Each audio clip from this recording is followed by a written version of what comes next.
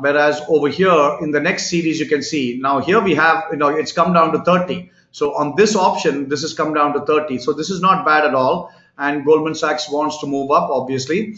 I'm going to keep an option ready at uh, 190 and that would be a 38 delta. So let's, uh, in fact, it's, I think it's punching up. I say we just take five contracts, get in right now. And uh, we are going into the series, uh, which has nine days left for expiry. All right. So 2.48. All right. We got it. So here we are. We have Goldman Sachs and we have, and we have Bank of America over here.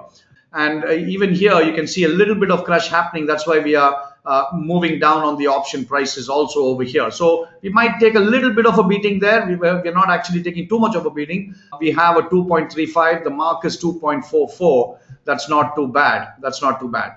But let's just keep an eye out on this because I want to see how this volatility crush uh, happens on this trade. We should see it come down even further. We may get a chance to double down as well if uh, if Goldman uh, doesn't move up, let's just take a look and see 180. And this was a trade uh, mark price uh, 2.35. So it's about a $1,200 trade. And uh, so uh, it may not be may not be a bad time to double down if it goes about 20%. So that would be about 250 down.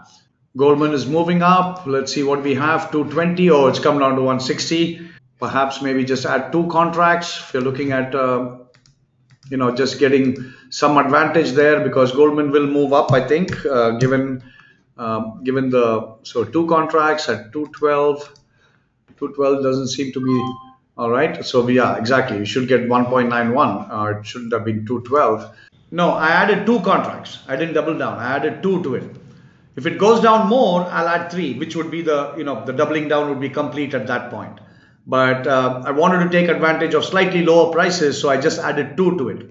Okay, so uh, we are at 188 and you can see it's gone up. Let's just go take a look at what we have. Well, this is great, guys. This is great. Uh, our trade is uh, 7 into 2, 14.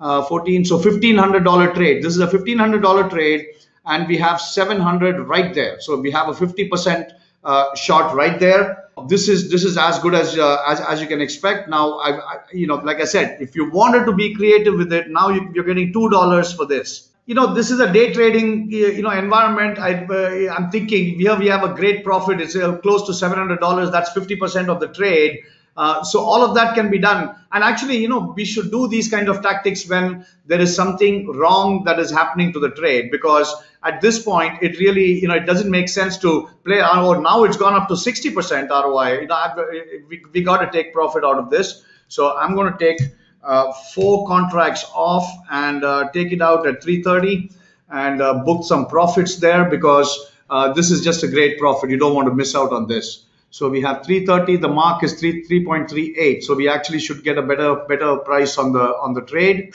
Uh, let's just wait. Okay, there we go. Oh, it didn't give us a better price. It gave it uh, at 330 itself. But that's okay. We've we've booked at least half of the profit here. Now, if we see any weakness, in fact, I do see some weakness coming into the S&P.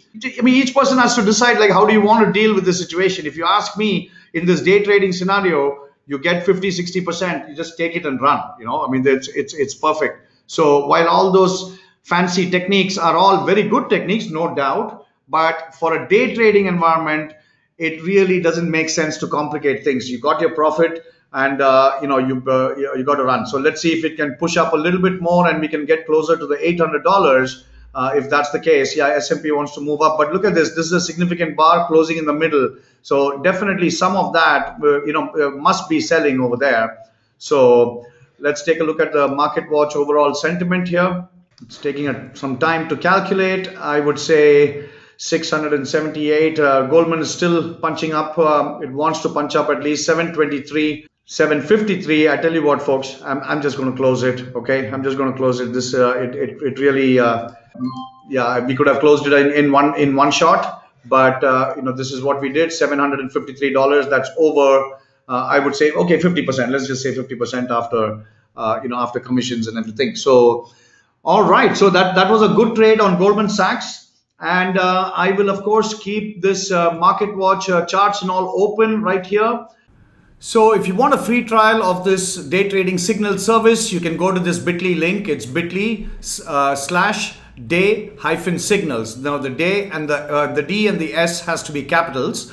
And once you go there, you can get a free trial. You can, you'll need to sign up there and you'll get a free trial. And uh, at the end of one week, if you don't want to continue, you can just send us an email at info at optiontiger.com and we'll give you a full refund.